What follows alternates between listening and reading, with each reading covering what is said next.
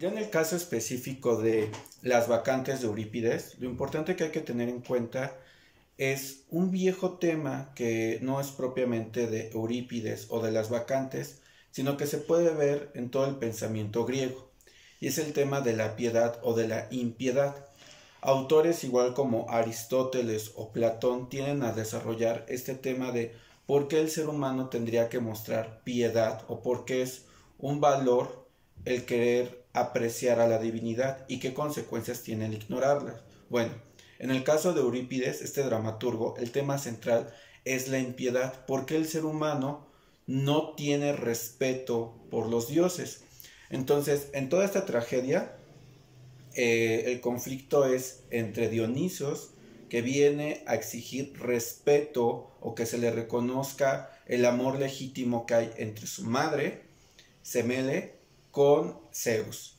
De ahí empieza la venganza de Dionisios.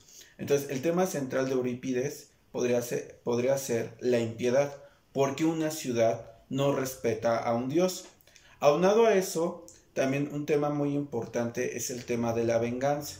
La venganza para el griego es un deber. Nosotros, dado que venimos de una larga tradición, por ejemplo, cristiana, para nosotros un deber tendría que ser el perdón. Y por eso no entendemos muy bien por qué siempre tiene que haber sangre y esta cadena infinita de, de venganzas de ojo por ojo. Sin embargo, eso es algo muy importante que hay que entender. Para que haya un sentido de justicia, se tiene que pagar la pena. Entonces, hay una deshonra ante la concepción de Semele y Zeus en el desconocimiento de que en efecto Dionisio sea hijo de Semele y de Zeus y por eso Dionisio tiene que llegar a la ciudad a no nada más a cobrar venganza, sino restablecer una pena que nadie ha resuelto. Entonces ahí radica la justicia divina y el tema central de las vacantes de Eurípides.